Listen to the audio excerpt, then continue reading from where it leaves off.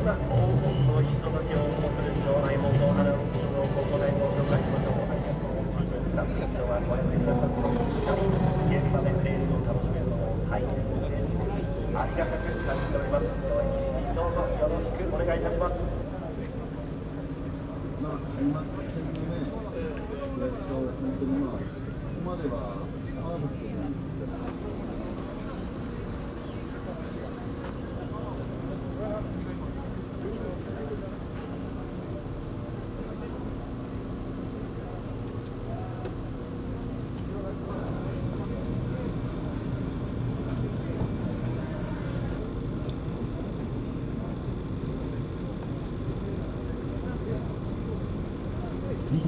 ートバススーパー GT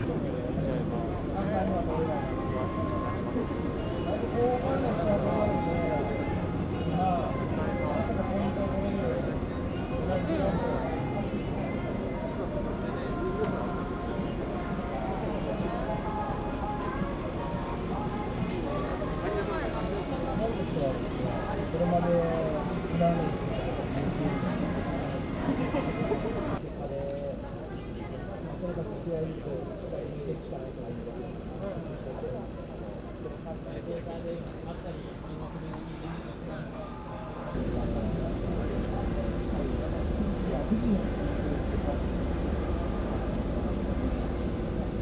テストも含めて、ここまでまずしたことがなかった、時期の要因だったので、レースはそんなに良くなかったですけど、そのフランスピート、長いスピートを続けれたのは、まあ、少し。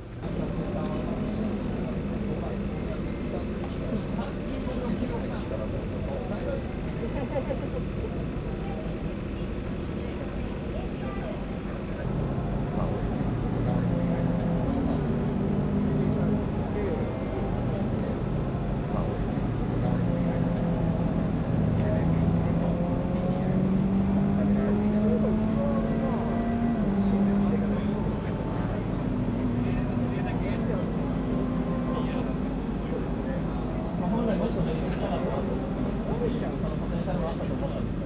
見事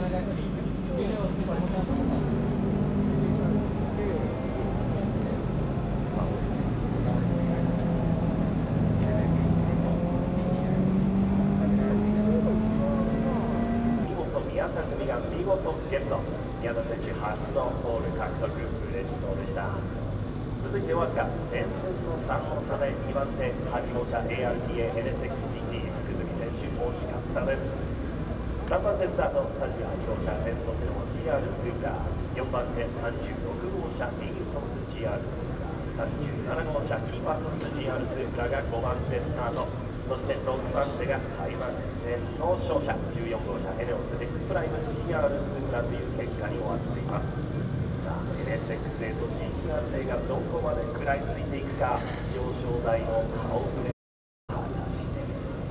しかも全体ベストで来ています。ピンク表示できてますが、さあ、第3セクターはうまく仕上げてきたか。どうだ、いかがセクター3、1分35秒96差。